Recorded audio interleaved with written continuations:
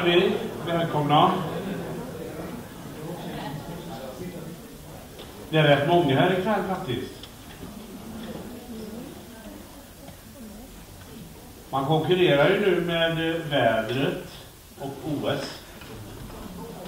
Och när jag för en gång skulle, skulle titta på OS idag så var det bara curling hela dagen. Det var inte särskilt uppmuntrande. Ja, men det var ju inga finalpass.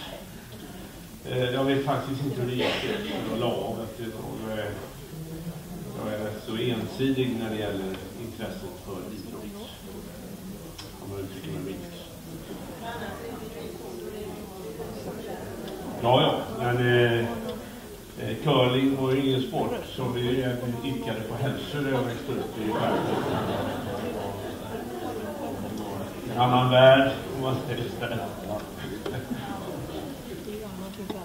Det enda som fanns där var Hälsö BK. Men vad kan man begära av en invånarantal på 535 personer? Det, det, det, det var, kom inte väldigt mycket.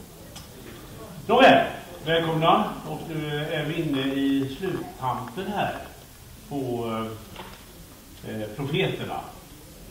Och sen, eh, jag, jag, jag, säger detta som en liten förvarning då, så kommer ju apokryferna sen. Som är eh, kanske vissa ja, böcker eller litteratur som är okända för många. Eh, som då numera kallas tillägg, tror jag, till Gamla Testamentet. Eh, det är alltså böcker som inte är kanoniska. Alltså räknas inte som helig skrift i den protestantiska delen av eh, kyrkan eller kristendomen. Däremot så eh, finns ju de här attityderna med i eh, katolsk tradition. Även om de där kallas för kanoniska i andra hand. Det är en väldigt intressant term det där va. Liksom graden av helighet kan man säga. Det finns olika grader av helighet texterna. Ja, nu ska vi inte gå in på detta nu i alla fall. Eh, det ska vi ta då, så att säga, när vi kommer dit.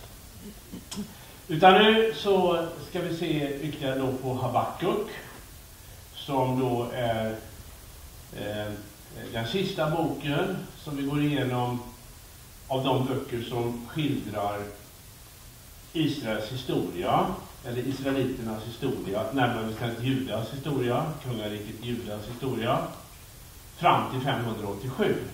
Alltså innan den stora katastrofen, tempelkatastrofen och egentligen kan man säga utraderandet av eh, de här statsbildningarna som vi läser om i Bibeln. Efter 587 så är det ingenting kvar av landet, Jerusalem ligger i ruiner. Templet som Salomo byggde är förstört, totalt förstört. Eh, självständigheten har upphört. Och det enda som är kvar det är en folkspillra som kallas judar. Efter eh, en av stammarna av de ursprungliga israelitiska stammarna, Judas stam. Eller för att vara mer exakt, Juda och Benjamins stam utgjorde kungariket Juda. Men dess invånare kallas ju judar. Och det är ju därifrån vi har begreppet jude. Ett folk som fortfarande existerar mot alla odds, kan man säga, historiskt sett. Och idag så finns ju det till och med en judisk stat. Eh, nu ska jag inte liksom komma in på det här för mycket, men det är intressant det där med en judisk stat. Eh, ni vet när Israel bildades i maj 1948 så var tanken, och så är tanken fortfarande, att det skulle vara en judisk stat. Eh, samtidigt som det ska vara en demokratisk stat. Och det är väldigt problematiskt därför att en del av Israels befolkning är ju arabisk. Och nu pratar jag inte om Palestinaaraber på Västbanken eller i Gaza, utan de som är israeliska medborgare. Det var ju en grupp, kan man säga, på 150 000 som eh, 1948 stannade kvar i Israel när Israel bildades och blev israeliska medborgare. Eh, idag är de ungefär 2 miljoner. Eh, ja, 20 procent ungefär kan man säga av eh, befolkningen i Israel. Inte riktigt 2 miljoner, men 20 procent ungefär. Och eh, de har ju då alltså sina partier i Knesset. Eh, Knesset då som är Israels så att säga, riksdag, för säga. Det finns ju alltså, i alla fall fanns för några år sedan 28 partier. Och eh, dessutom har de ingen 4 spärr vilket gör att det är smärre kaos. Eh, om man söker då koalitioner och allt möjligt sådär. Det är lite blockpolitik där också. Eh, men det finns ju då de här arabiska partierna. Eh, och vi, vi leker med tanken då att den arabiska befolkningen då skulle växa eh, i, inom ramen för Israel och till sist eh, vinna valet. Och det är frågan då, är det då en judisk stat? Då kan ju bli en arabisk stat. Alltså rent teoretiskt. Eh, och det där är eh, en ständig diskussion i Israel om huruvida eh, man kan behålla det här tanken om en judisk stat om det blir en arabisk majoritet. Vilket eh, vi är långt ifrån idag, men vi vet inte vad som händer i framtiden. Det är en rätt intressant fråga, för det är ju en, en stat då som bygger på eh, att en, en viss etnicitet har ett företräde. Eh, och det gjorde ju, ni vet att eh, på 70-talet så klassades ju Israel som en rasistisk stat. Eh, det var i och för sig eh, alltså arabvärlden eh, och eh, understött då Sovjetunionen bland annat då, som röstade igenom det här förslaget om att Israel var en rasistisk stat på grund av detta. Men det upphävdes då 1992 tror jag, det här beslutet. Eh, och det betraktas alltså inte som en rasistisk stat idag. Alltså alltihop det här har ju att göra med judarnas, som vi säger, prekära historia. Därför att tillkomsten av den judiska staten handlade ju om att man skulle undvika då att förintas eh, eftersom man så att säga, bildade den här staten i, i, i så att säga, efterspel till det hemska som hände under andra världskriget med 60 miljoner judar som mördades. Och eh, många såg och ser fortfarande då eh, en judisk stat som en slags garanti för överlevnad i framtiden. Så att det är en väldigt speciell eh, tankegång bakom det här med judar och judar. Jag tycker ändå liksom att det var inte så att jag helt liksom på något sätt kom ur ämnet här. Eh, för det finns ju en koppling till eh, kungariket Juda, här som vi håller på med nu och katastrofen 587. Det är i sig en av många katastrofer som det judiska folket har råkat ut för. Eh, även här hotades man till sin existens, alltså som judiskt folk. Eh, men eh, som genom ett mirakel så lät babylonierna, judarna, bevara sin kultur, religion och sin etnicitet. Eh, vilket i sig är märkligt. Men om man ser det från ett andligt perspektiv så får vi tänka att Gud såg till att det blev så för att de inte skulle raderas ut. Han har ju en plan med det judiska folket och den planen eh, existerar fortfarande. Ja, det var en väldigt lång introduktion det här. Men nu så ska vi se alltså på Habakuk Eh, strax före katastrofen 587. Och jag tror inte vi förstår hur stor den här katastrofen är. Det värsta i den här katastrofen det är just att templet förstördes. Därför att templet uppfattades som Guds eh, bostad på jorden. Så länge templet stod i Jerusalem så fanns hoppet kvar. Men när templet är borta, då är det som att Gud också är borta. Så oerhört viktigt var detta tempel. Denna plats som är 540 gånger 280 meter är tempelplatsen idag. Så stor är själva platsen. Nu var det inte någon plats då, utan det var en, ja, plats var det, men det var en klippa bara på den tiden.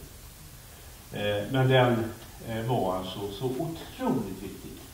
Och när den försvann så var det som att allt hopp försvann. Så vi ska gå in i någon slags hopplöshet här idag och se hur Gud svarar mot den här hopplösheten. Ja, vi började ju med den här Habakuk sist, om jag inte missminner mig nu. Och vi sa då att man tror att han var levit.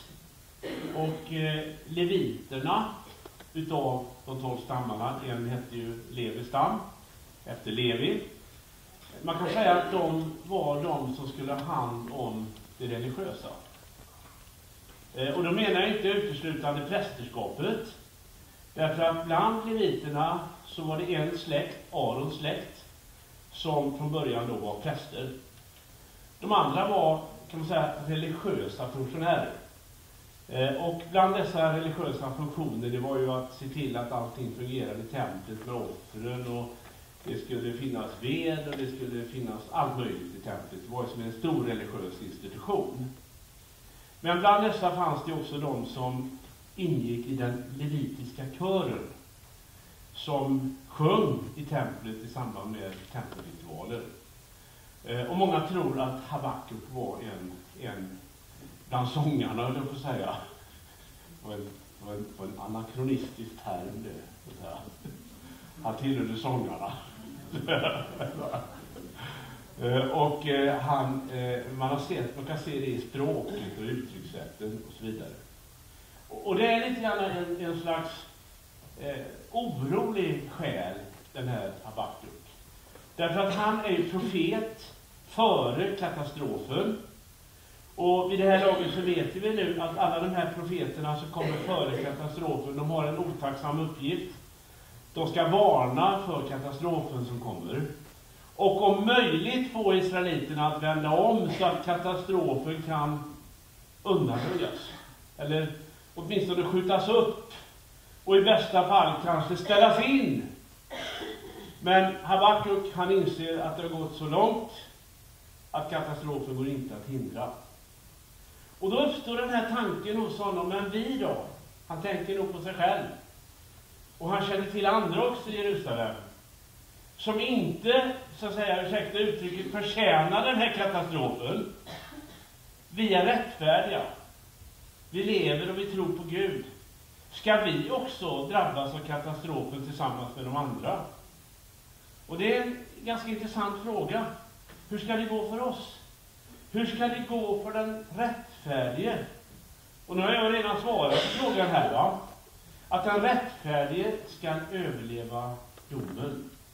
Det är egentligen budskapet i, i den här eh, profetens budskap. Att domen är oundviklig och den rättfärdige kommer att hamna i Babylonien också.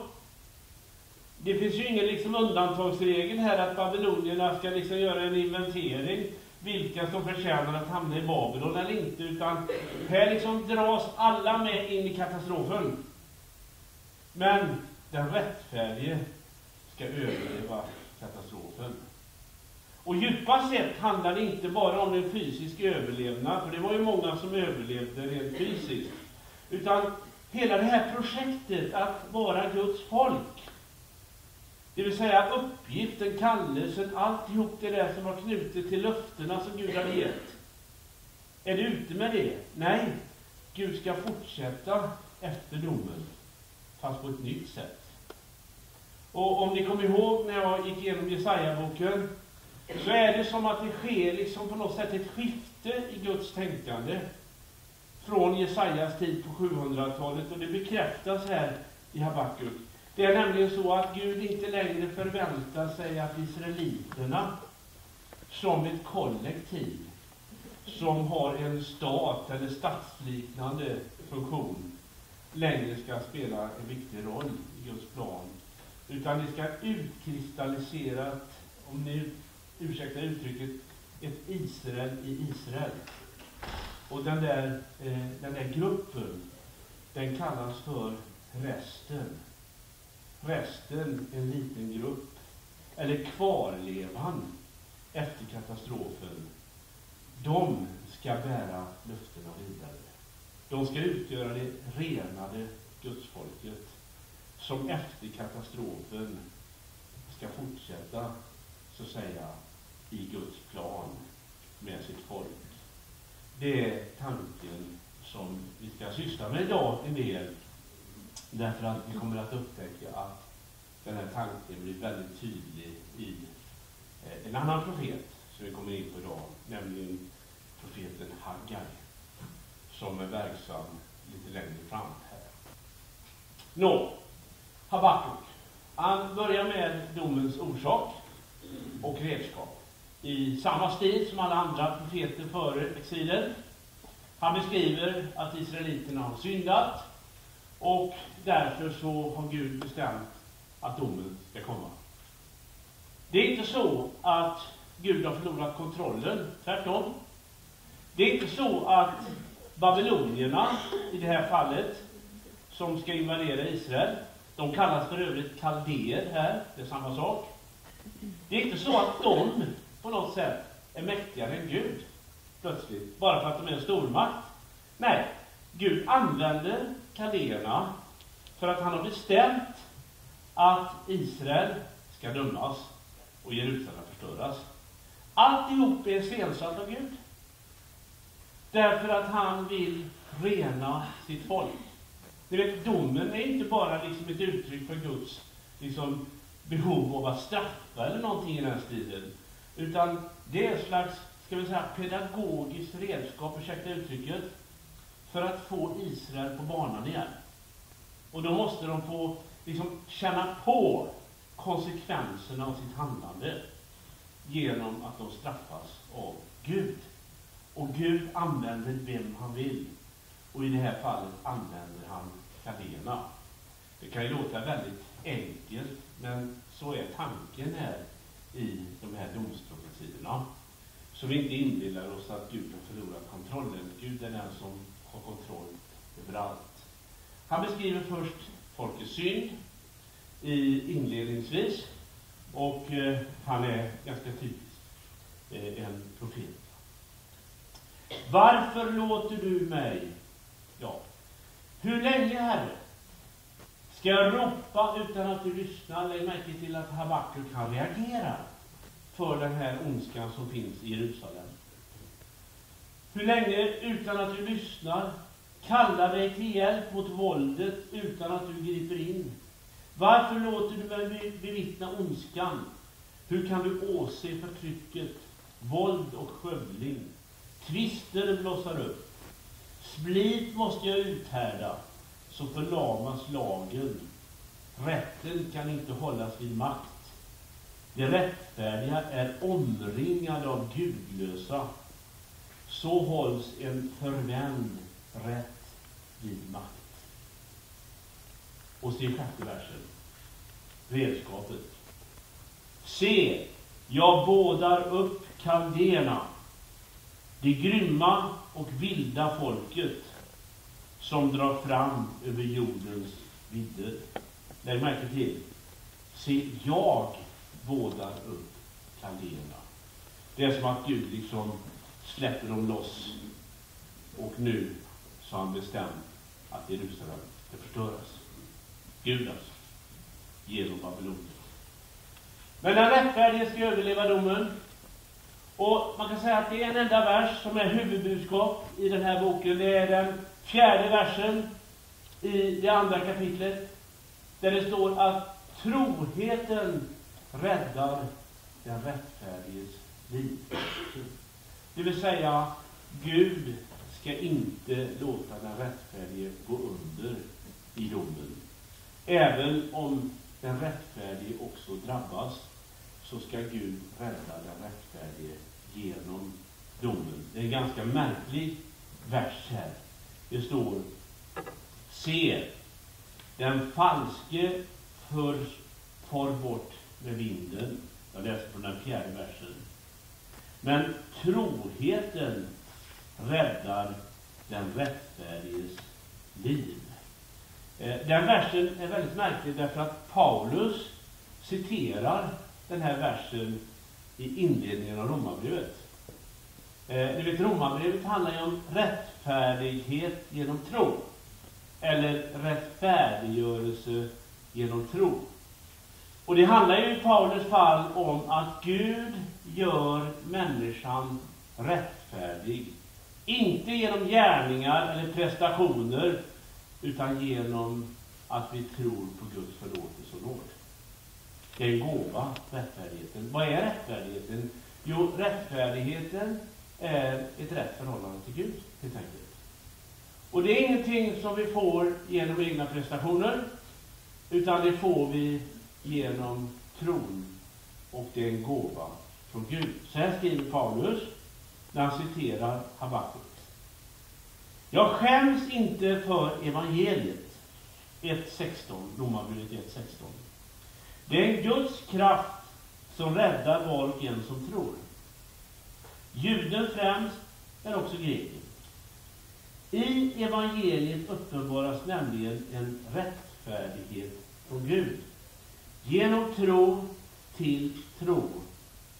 Som det står skrivet, den rättfärdige ska leva genom tro. Den versen kan översättas på två sätt. Den kan antingen översättas Den genom tron rättfärdige ska leva. Eller den som är rättfärdig ska leva genom tron''. Det är inte så stor skillnad egentligen. Men tron har väldigt stor betydelse. Och jag vill påstå då att tron, eller troheten, räddar den rättfärdiges liv. Det är det budskap som Habakkuk får. Och, och, det är rätt principiellt viktigt det här, därför att en del säger så här, att i Gamla Testamentet så fick människor rätt förhållande till Gud genom gärningar. Fel. I Gamla Testamentet, precis som i Nya Testamentet, så får vi gemenskap med Gud genom tro. Tro på Guds barmhärtighet, tro på Guds kärlek, tro på Guds nåd. Alltså principiellt finns det ingen skillnad på frälsningen. Det är inte så att Gud plötsligt har ändrat sig. Utan Gud är ju densamme igår, idag och evigt. Alltså, Israeliterna blev räddade, inte för att de hade åstadkommit någonting, inte för att de hade presterat någonting, inte för att de var religiöst lagda, utan därför att Gud utvalde dem i sin nåd. De frågade Mose en gång i femte Moseboken. Hur kommer det sig att Gud har valt oss? De hade nog en baktanke där att de skulle få liksom en slags ja, sevigt uppräknat från Guds sida då att ja, det beror på följande och följande och följande att jag valde just er och inte danskarna till exempel. Och så liksom går Mose och frågar Gud, hur kommer det sig? Jag säger Gud, det var ju inte för att ni var större än andra folk. Det är ju tvärtom så att ni är mindre än de flesta folk. Det är ju sant. Det är så här, jag valde er därför att jag älskade er. Visst är det fascinerande? Den enda grunden till att Gud valde Israel, det var hans kärlek. Och den enda grunden till att vi får tillhöra Guds folk, det är för att Gud älskar oss. Inte för att vi är på ett visst sätt, eller kan prestera, eller att vi har en religiös meritlista. Det är Guds kärlek som är grunden för att vi också, vi som inte har judisk härkomst, får tillhöra Guds folk idag. Mycket fascinerande, tycker jag. Det är tur att det är så, tänker jag oftare, kanske. Eh, att det är så att det är Guds kärlek, bara Guds kärlek och nåd som är grunden till att vi får tillhöra honom. Sen är det en annan sak. Eftersom vi tillhör Gud så förväntar han sig också att vi ska ge ett gensvar på hans kärlek genom att leva på ett visst sätt. Åtminstone sträva efter att leva på ett visst sätt. Men den strävan, det är inget villkor för att få tillhöra honom. Utan det är ett uttryck för att vi tillhör honom. Det börjar med nåd, alltid med nåd. Och sen har nåden konsekvenser, en helt annan sak. Därför att det är ju en relation vi har Och det, det, är, det är fascinerande det där, va? att vi strävar ju efter att leva på ett visst sätt och vi försöker förstå oss på hur vi ska göra. Vi försöker förstå oss på Gud.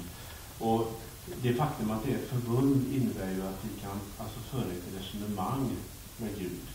Men när det är, man kan säga så här, när det här resonemanget upphör, när vi vänder Gud ryggen, när vi fullständigt ignorerar allt Gud säger, ja, det är ju då vi hamnar i den här situationen som folket har gjort här. De strävade inte längre och de kämpade inte med Gud. De ville inte ens försöka sig förstå sig på Gud, utan de hade vänt Gud ryggen. Och då finns det inget förhandlingsutrymme, det finns ingen, ingen relation, det finns inget resonemang kring vad som är Guds vilja och så vidare. Utan man har helt och hållet övergett Gud. Men troheten, och det är ett vackert ord va? Troheten till Gud ska rädda den rättfärdiges liv. Det här att vi håller fast vid Gud mot alla odds. Och vi håller fast vid Gud trots att vi brister. Det är att tro. Och i botten finns den här tilliten till att Gud aldrig överger oss. Det är vad får till livs när han nu brottas med Gud. För han brottas med Gud. Han har den här förhandlingen med Gud genom hela boken. Hur ska det gå för mig när domen kommer? Kalena ska dömas till sist, efter att ha utgjort sitt redskap. Det är inte så att Gud liksom på något sätt välsignar kaldéerna eller babylonierna. När de har utfört sitt uppdrag så ska de gå under. Alltså, babylonierna gick under 539 och avlöstes av det persiska riket. Det var ju babylonierna som tog makten 607, skulle jag ha sagt egentligen, fast jag skulle bara kolla att ni hänger med. Det tidigare världskriget var ju det assyriska. Och så slutar han med eh, en lovprisning. Och det är eh, lite grann av ett slags poetiskt, nästan som en sång, eh, det sista. Eh, och det är så vackert, de här slutorden i Habakkuk bok. När han säger så här, lyssna här, i den 16 versen. Jag hör det och darrar i mitt innersta. Vid dånet skälver mina läppar. Benen i min kropp löses upp och jag går med vacklande steg. Jag väntar på att olyckans dag ska randas för det folk som angriper oss. Fikonträdet knoppas inte. Vinstocken bär ingen frukt. Olivskörden slår fel. Fälten ger ingen gröda. Fåren är borta ur follan. Hängnen är tomma på kor. Alltså, katastrofen förebådas till och med i naturen. Men, säger han, men, eller trots detta, men jag vill jubla över Herren, glädja mig över min Gud. Alltså katastrofen kom ju, eh, den kom ju här 587. Och eh, många kände ju så här, ja, för det första, vi kan säga så här, vi ska se på en liten karta här, eller tidslinje. Eh, de här profeterna är alltså verksamma efter katastrofen. Eh, därför att den här folkspillran som nu hamnar i Babylonien, hur många det var, det vet vi inte. Eh, det finns väldigt massa olika teorier om det. Men om vi säger att det var 25 000 kanske personer som hamnade i Babylonien. En del tror att Jerusalems befolkning före katastrofen var Eh, kanske 100 000. Det finns olika siffror. Och att 50 000 dog när babylonierna kom. Alltså halva befolkningen raderades bort. Eh, 25 000 hamnade i babylonisk exil. Och kanske 25 000 fick stanna kvar i Jerusalem. Eh, det var de som babylonierna inte hade någon nytta av. Sådana som flera av oss här, vi som är pensionärer. De liksom blev kvar. Och andra skröpliga personer som hade sjukdomar och, och, och ni vet, som man inte hade användning av. Det var väldigt synligt det hela. De fick vara kvar. De övriga, de transporterades till Babylonien. Eh, och eh, ungefär av det hela. Eh, de, de hamnade ju där i Babylonien. Eh, och eh, de satt inte i fängelse, som jag sagt tidigare. Det var en folkomflyttning bara. Eh, faktum är att de där judarna som hamnade i Babylonien, de fann sig nog ganska snabbt till rätta i den här nya miljön. Och en del de eh, hade nog framgång i Babylonien, kanske i affärsliv, vad vet jag, och så vidare. Eh, vad, vad, vi vet är att det uppstod ganska snabbt en slags judisk kultur borta i Babylonien.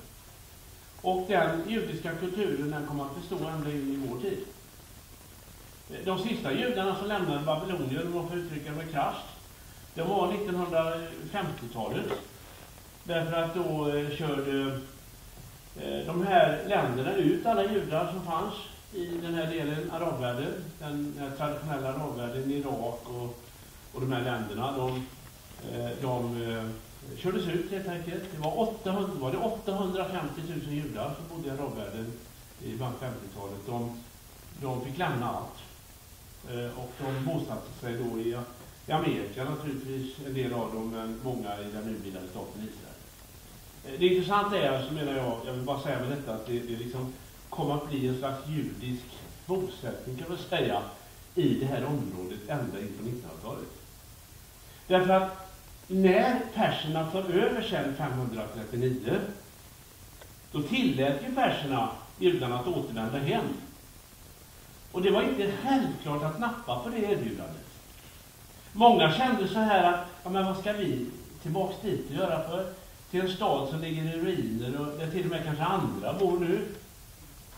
Eh, bara för att Gud plötsligt säger genom någon galen profet här att vi ska återvända och att han tänker fortsätta med oss. Det är ju inte så självklart att man vill fortsätta, men han kan väl välja ett annat folk. Jag vet inte om de tänkte så, jag skulle ha tänkt så. Det finns ju norskar. Ja, förlåt nu. Ja, jo, alltså jag menar, han kunde ju tagit ett väldigt bra folk som, som norskarna till exempel. Ja. Eller någon annan va?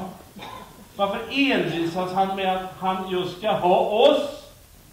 Denna folkspillra. Han är ju så envis Gud, kanske det tänkte. Men det är ju det här att sin kallelse kan Gud aldrig ångra. Han har valt det här folket och han tänker fortsätta. Och det var inte alla som nappade på det här erbjudandet. Men det fanns ju de som gjorde det. Och, och om vi ska lita på Esra, vilket en del tycker är tveksamt, så säger ju han faktiskt hur många det var som återvände. Och om det är rätt det han säger, så hade den här befolkningen växt väldigt snabbt där borta i Babylonien. För han säger att det var närmare 50 000 som återvände. Var han nu har fått det ifrån, det vet inte jag, men det står i den heliga skrift. Så här står det. Hela församlingen av de som återvände bestod av inalles 42 360 personer, förutom deras slavar och slavinnor som var 7 337. Han låter ju som en sån här eh, statistiker utsedd av staten eller någonting i den tiden.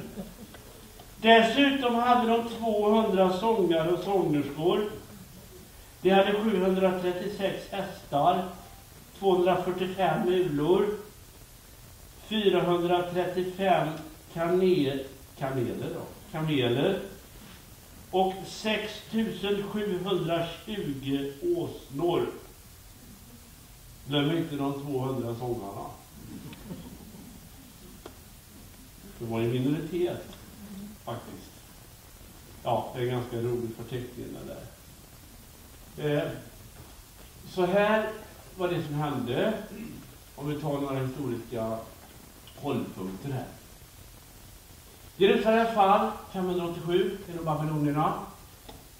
539 perserna tar över genom kung Kyros, eller Koresh, han är den första persiska kungen.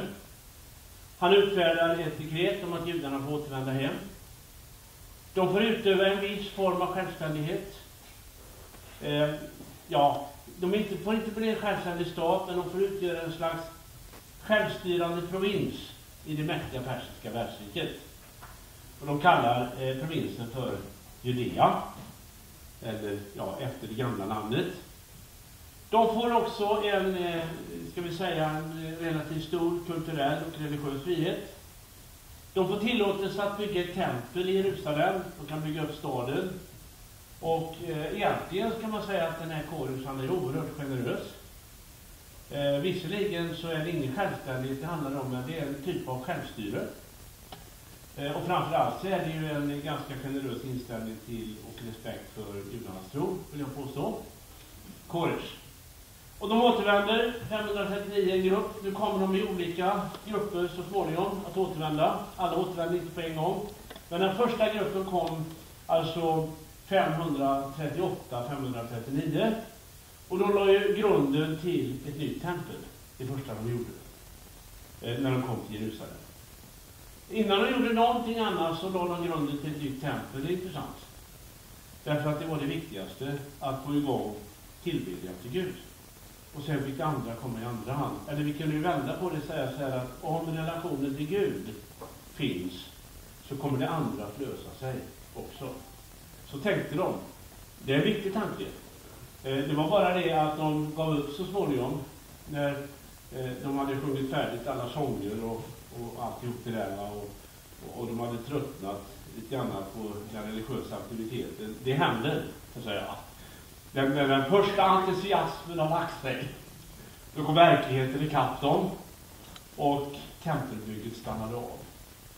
Det låg nere och de satsade på stadsmurar och de satsade framförallt på egna hus och eget liv. Det är ett ständigt återkommande problem eh, att vi prioriterar eh, det som rör oss själva snarare än det som rör Gud.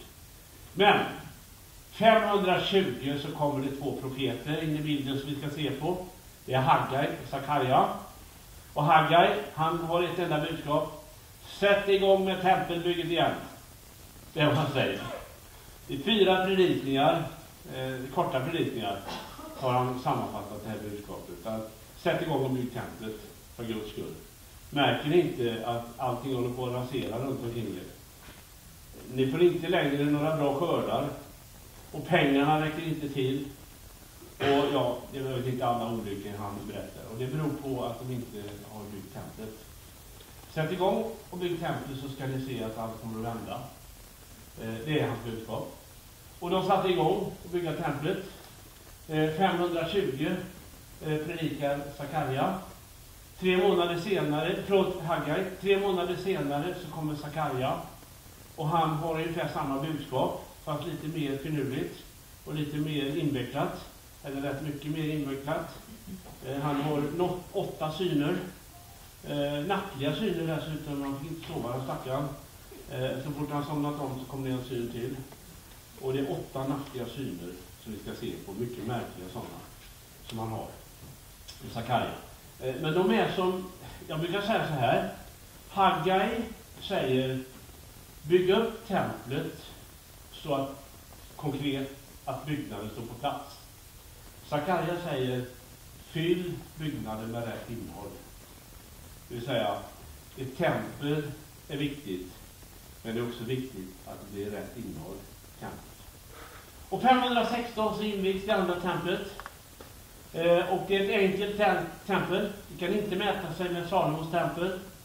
Eh, det är ett betydligt enklare eh, tempel som byggs här i andra templet. 457 så kom Esra till Jerusalem. Det är han som gav oss listan där över de som hade återvänt 539. Nu återvänder han bokstavligen till Jerusalem själv. 457. Och tillsammans med honom, eller ja, nästan samtida Hemlia, Det är de här figurerna som vi läste om eh, i förra delen av kursen. Eh, de är ju eh, sådana här riktiga pådrivare. De är inte profeter, de är präster prästval, prästslag. Och de eh, uppträder nästan profetiskt kan man säga. Men de räknas inte som profeter. Och sen då, någonstans här 440, så kommer den sista profeten som vi har i Gamla Testamentet. Det är Malaki. Och han är en lite sorglig profet. Så tillvida att det har börjat ett förfall igen. Och det är liksom ett sista desperat försök att få Guds folk på fötter igen. Denne Malaki. Han är eh, lite sådär, det vilar lite tragik över Malaki, tycker jag. Och där slutar Gamla Testamentet. Det slutar med Malaki. Men historien fortsätter ju. Men han är den siste profeten. Eh, men nu ska vi alltså, ja, här har vi de här världsmakterna också. Som jag pratade Ett blylock och inne i sädestunnan satt en kvinna. Men han måste ha blivit väldigt förvånad för Kaja. Han lyfte på locket och där satt en kvinna. På ett utrymme rymmande 23 liter. Vad är detta? Ja. Jag skulle blivit förvånad. Detta är ondskan, sa han och knuffade henne tillbaka i sädestunnan. Hon försökte tydligen komma ut också. Och så la han på blyskivan. Sen lyfte jag blicken och såg två kvinnor komma. Och vinden fyllde deras vingar och deras vingar var som hägervingar. De lyfte upp sädestunnan mellan jord och himmel. Vart för de tunnan? frågade jag ängeln som talade med mig. Han svarade till Kinnar, Babylonien. Det är ett annat namn för Babylonien, eller Babel. För att bygga ett tempel åt kvinnan. När det är färdigt ska de ställas upp på sin plats. Slut! Hur ska man tolka det? Ja, alltså det finns ju ett övergripande tanke i det här. Det är att ondskan liksom på något sätt hör hemma i Babylonien. Och inte i Jerusalem. Det är väl huvudbudskapet. Men det är lite ett omständigt sätt att säga det tycker jag på. Och mitt i natten dessutom. Ja, nu är det den sjunde synen. Om man nu har den liksom sju eller åtta syner samma natt så är det liksom framåt morgonkvisten också. Han kanske var i tillstånd så att han var liksom mellan dröm och verklighet här. Jag visste inte vad det var han var med om. Ja, nu har jag ju föregått händelserna här, men det finns ju sju syner till. Den första ser han ryttare i olika färger. Eh, och eh, egentligen tror jag att de här symboliserar hela jordens herre står bakom tempelbygget. De här ryttarna får runt hela jorden, står det. På Guds befallning. Eh, kanske ska vi tolka det som att han som håller sin hand över hela världen, han är den som håller sin hand över tempelbygget. Och omvänt kan vi säga också att det här tempelbygget berör hela världen på något sätt. Nu är de där fyra ryttarna, det står ju så här att det är olika färger på hästarna som eh, eh förekommer här. Jag hade en syn i natt. En man på en röd häst hade stannat bland myttelträden i skuggan och bakom honom stod röda, bruna och vita hästar. Jag frågade vad betyder dessa herre? Då svarade han som talade med mig. Det ska du få veta. Och mannen som hade stannat bland myrtelträden sa De är utsända av Herren för att färdas över jorden. Och de sa till Herrens ängel som stod bland myrtenträden, vi har färdats över jorden men allt är lugnt och stilla. Ängeln sa, Herre Sebaot, hur länge ska du dröja med att förbarma dig över Jerusalem och Judas städer? I 70 år har du varit vred på dem. Då gav Herren goda och tröstande ord till svar åt ängeln som talade med mig och ropade och ängeln som talade med mig befaller mig att ropa så säger Herren Sebaot stark är min lidelse för Jerusalem och för Sion. Gud han vänder sig till Sion och Jerusalem och så ska han bygga upp inte bara templet utan han ska bygga upp eh, hela församlingen och allt vad det innebär. Eh, den här resten ska spela en avgörande betydelse för framtiden. Det är så jag ser det. I förlängningen så ska Herrens härlighet naturligtvis då inte bara omfatta Jerusalem men hela jorden. Annars är det märkligt med de där hästarna. Är det någon som vet var de där hästarna dyker upp sen igen?